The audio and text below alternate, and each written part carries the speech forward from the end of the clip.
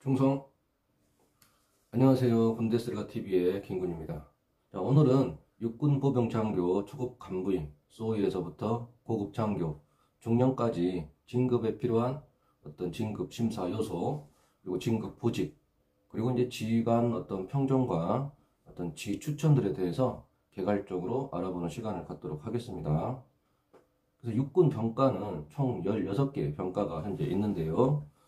또 육군 임관 장교가 어떤 보병 장교가 절반으로 절반 이상을 임관을 하고 있고 또 원스타 장급 진급도 2021년 기준 53%가 어, 보병 장교 출신이고 또 이제 사성 장군도 포병과 어떤 기타 병가를 포함해서 현재까지 5명 내밖에 되지 않고 대부분이 어, 보병 장교 출신이라는 점이 현실이라는 점을 말씀드리겠습니다.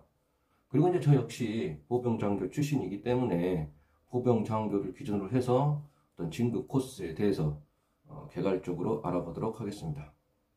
앞선 영상에서는 제가 어떤 장교 출신에 대해서 설명을 드렸었고요. 그래서 그 부분을 참고하시고 그래서 이제 육군 장교의 어떤 그 임관이 되는 부분에 있어서 자기 성적과 그리고 성향에 맞게 출신을 선택하고 합격을 하게 되면 각 출신별로 양성교육기관에서 군사교육을 받게 되고요. 그리고 임관을 하게 되는데요.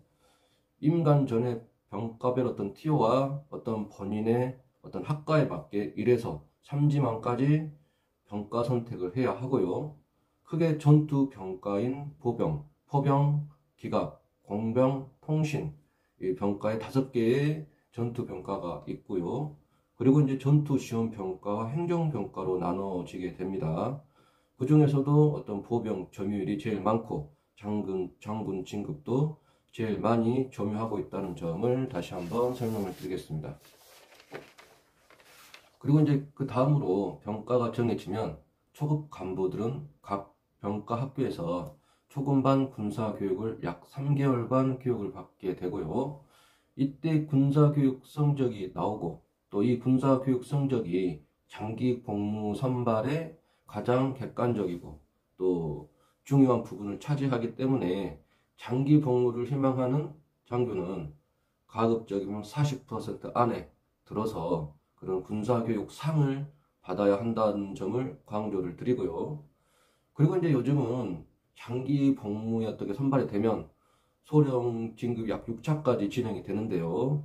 대부분이 약 80% 이상이 그 모두 소령 진급이 장기 복무가 되면 가능하다는 점을 말씀드리겠습니다. 그리고 이제 초급반 교육을 수료하게 되면 곧바로 야전 부대에서 자대 배치가 되고 보직을 받게 되는데요.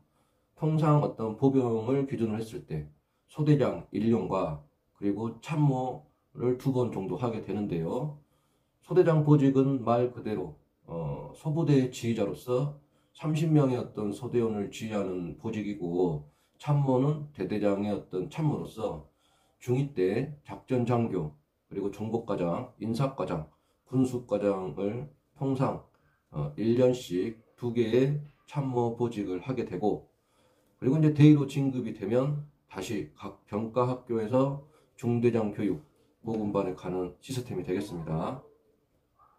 그래서 여기서 이제 저의 견해를 좀 말씀드리고 싶은 것은 장기 복무와 진급 그리고 어떤 자력을 쌓기 위해서는 대대 작전 장교를 하는 것이 참모 중 가장 어, 유리하다는 점을 말씀을 드리고요. 그리고 이제 대대급의 어떤 참모 어떤 경쟁이 굉장히 또 치열한 부분이 있기 때문에 어, 연대 수색 중대의 지피장 그리고 연대급 인사장교 그리고 이제 이건 선발되는 거지만 사단장님의 전속 부관 등도 중위의 어떤 참모 보직이기 때문에 어떤 장기와 진급에 굉장히 좋은 보직이면서 평정을 잘 받을 수 있는 보직이라는 점을 설명드리겠습니다. 그래서 이제 이런 어떤 보직을 챙기게 되면은 장기 복무 선발을 중2 때 이제 지원을 하게 되는데요. 장기 복무 선발 이꼬르 현재 소령 진급 어떤 추세이다 보니까 또 이제 IMF 이후 그리고 코로나 시국 이후 더 어떤 장기 복무 선발 경쟁이 높아지고 있고 평균 10명 중에 3명 밖에 장기 복무 선발이 안 된다는 점이 현실이라는 점도 추가적으로 말씀을 드리겠습니다. 그래서 어떤 초군반의 어떤 군사 성적 그리고 참모 보직 그리고 이제 어, 표창 사문 점수 그리고 체력 그리고 지휘관 평정 그리고 지휘관 장기 복무 추천서를 심사하기 때문에 나의 어떤 직속 상관에게 어떻게 열심히 하는 모습을 보여야 하고 또 인간관계도 잘 형성해야 하고요. 그리고 추가적으로 자기 업무뿐만 아니라 군에 필요한 자기 개발도 열심히 해야 한다는 점을 말씀을 드리고요. 그리고 이제 어떤 장기 복무 어떤 그 심사 어떤 위원들이 통상 사단에서 사단급, 중령급의 어떤 참모들이 면접 평가를 또 심사를 보기 때문에 또 면접 준비도 열심히 해야만이 최종적으로 장기 복무에 선발이 되고 또 장기 복무에 선발이 어떤 우선이 돼야 영광급이든 어떤 장성급이든 모두 진출할 수 있는 출발점이 된다는 점을 다시 한번 설명드리겠습니다. 다음은 이제 대의 진급을 하게 되면요. 병가 학교에서 고등 군사반 군사 교육을 약 5개월 정도 받게 되는데요. 이때 가장 중요한 것이 군사 교육 성적이고요. 이것도 마찬가지, 초급반과 마찬가지 40% 안에 들어야 군사 교육 성적 상을 받게 되는 것이고요. 그리고 이제 이 군사 교육 성적이 소령 진급 평가 요소에 들어가기 때문에 굉장히 열심히 공부를 해야 한다는 점을 말씀을 드리겠습니다. 그리고 이제 군사교육 성적을 잘 받으려면 어떤 군사 교범을 많이 탐독하고 또 전술에 대해서 개념 있게 발표도 많이 해야겠지만 그 이면에 바탕이 되는 것이 내가 어떤 어, 대, 그 중이나 소위 때 근무했던 뭐그 참모로서의 어떤 작전 장교 혹은 정보과장 뭐 이런 어떤 참모로 이겼던 그 실무 업무들이 굉장히 도움이 된다는 점을 추가로 설명을 드리고요. 그리고 이건 좀 다소 좀 비근한 예지만은 제가 이제 고등 군사반 중대장반에 이제 예, 저도 이제, 이제 교육을 바, 받으러 갔게 됐는데 그때 이제 너무나 어떤 그 기수의 어떤 교육 기수들이 이제 경쟁이 치열하다 보니까 제 동기 중에는 어떤 성적을 조금이라도 더 받기 위해서 헌혈까지 이렇게 하면서 훈육 점수를 챙기는 그런 장교들도 있다는 것이 현실이라는 점을 말씀을 드리겠습니다. 그리고 이제 고등군사반 어떤 교육을 수료를 하면 통상 1차 중대장, 2차 중대장을 하게 되는데요. 두 번의 중대장 보직을 필수로 모두 마쳐야만이 소령 진급의 대상이 된다는 점을 말씀을 드리고요. 그리고 1차, 2차 중대장의 중에 한 번은 무조건 100명 이상의 실병 지휘를 해야 한다는 점도 그런 것이 의무라는 것도 진급 요소에 들어간다는 점이 있다는 것을 설명드리겠습니다. 그리고 이제 중대장 때는 아무래도 부대 관리가 굉장히 중요한 요소인데요. 많은 어, 인원들을 실병 지휘를 해야 하기 때문에 병사 관리를 제대로 못해서 어떤 인명사고가 나거나 부대사고가 나게 되면 진급에도 굉장히 영향을 많이 미치고 저희 어떤 개인적인 소견도 중대장 때는 어떤 업무적인 성과를 내는 것보다는 그런 걸 욕심 부르기보다는 그냥 사고만 나지 않는 것만으로도 절반 이상의 성공이라고 저는 생각을 합니다. 그래서 대입급 어떤 쥐간이 됐을 때는 병력들을 살뜰히 살피고 또 사고가 나지 않게 안전하게 부대하는 것이 중요하다는 점을 설명을 드리고요. 그래서 요즘은 어떤 이 가급적이면 이 대위급 자원들이 1차, 2차 중대장의 어떤 보직이 만료가 되면 어, 실병 지휘를 굉장히 또 부담스러워하기 때문에 지금은 3차 중대장까지 보직을 만들어서 소령 진급에 가산점을 준다는 점도 추가적으로 설명을 드리겠습니다. 그 이후에 어떤 중대장 이제 보직을 모두 이제 마치게 되면 이제, 이제 본격적으로 영광급 장교인 소령 진급을 위해서 보직을 찾게 되는데요. 아무래도 연대 작전 장교 보직이 진급에 유리하고요. 그 외에 수색 중대장, 그리고 사단급 정규전 작전 장교, 그리고 대침투 작전 장교, 그리고 사단 인사체 보임 장교의 보직이 있는데요. 이런 보직들이 소령 진급에 굉장히 유리한 보직이라는 점을 말씀드리겠습니다.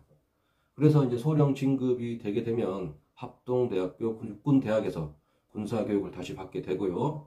마찬가지로 군사교육 성적이 중령 진급에 있어서 굉장히 중요한 부분을 차지하기 때문에 조금 과하게 표현을 하자면 그때는 어떤 와이프까지 그 동원해서 과제를 돕는 일들이 비질, 비일비재하다는 것도 현실이라는 점을 추가적으로 설명드리고요. 그만큼 어떤 교육 성적에 소령급 분들이 살을 걸고 있고 정말 열심히 공부해서 군사교육 성적과 또 그런 부분에서 정규 과정에 들어야만이 중령 진급에 있어서 유리한 구지를 선점할 수 있다는 점을 예, 설명을 드리고요. 그래서 이제 육군대학 군사교육을 마치면 다시 야전 부대로 가서 대대 작전과장은 필수 보직으로 마쳐야 하고요. 그리고 이제 연대급 작전과장 그리고 사단의 작전 보좌관이 중령 진급에 굉장히 유리한 진급 보직이라는 점을 말씀을 드리겠습니다. 그리고 이제 그 보직을 얻는 것도 굉장히 치열하게 경쟁을 하고 또 지휘관의 추천과 신뢰가 있어야만이 그 보직을 얻을 수 있다는 점을 말씀을 드리고요. 그리고 이제 그 외에 뭐 합참이라든지 육군본부 그리고 뭐 군단이나 군사령부에도 진급의 어떤 보직들은 있지만 그 부분은 너무 다양하기 때문에 어, 오늘 설명은 사단 끝까지만 말씀을 드리도록 하겠습니다. 그래서 이제 오늘 어떤 저의 결론은 육군 보병 장교의 진급의 가장 중요한 요소는 첫째로 보직과 지휘관 평정 그리고 진급 지휘 추천이라고 저는 생각을 하고요. 두 번째는 군사 교육 성적 그리고 이제 기타적인 부분에 있어서는 상훈 점수와 그리고 체력 그리고 부대 관리 그다음에 사고 그리고 자기 관리 등으로 생각을 저는 하고 있습니다. 그리고 이제 이것보다 어떻게 보면 더 중요한 것이 어떤 가족들의 support와 그리고 가족들의 희생이 수반돼야 되지 않을까라는 생각이 들고요. 제가 어떤 군무원, 5급 군무원을 포함을 해서 15년간 군 조직에 몸을 담았지만 오늘 얘기한 것은 어디까지나 저의 개인적인 소견이라는 점을 말씀드리고요. 또 다 맞는 부분은 아니라는 점을 다시 한번 추가적으로 말씀드리겠습니다. 시청해 주셔서 감사하고요. 구독과 좋아요는 앞으로 제가 좋은 일에 많이 쓰도록 하겠습니다. 오늘은 여기까지 하겠습니다. 시청해 주셔서 감사합니다. 이상입니다.